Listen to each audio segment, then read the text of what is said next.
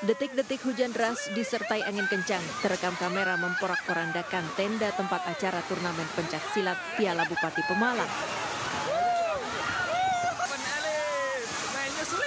Atap seng, kain, kursi, dan meja berterbangan disapu angin dan hujan yang mengguyur lapangan kecamatan Radu Dongkal Jumat sore.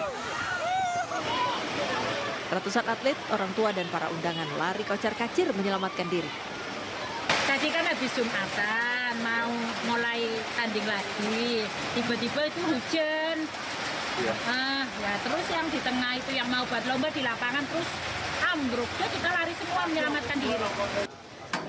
Peserta turnamen yang kebanyakan anak-anak sekolah diungsikan ke lokasi gedung sekolah karena hujan deras terus mengguyur. Turnamen pencaksilat yang diikuti dari berbagai daerah di Jawa Tengah ini akhirnya tidak dilanjutkan. Panitia pun belum memberi kepastian mengenai kelanjutan kejuaraan ini. Dari Pemalang, Jawa Tengah, Suryono Soekarno, iNews melaporkan.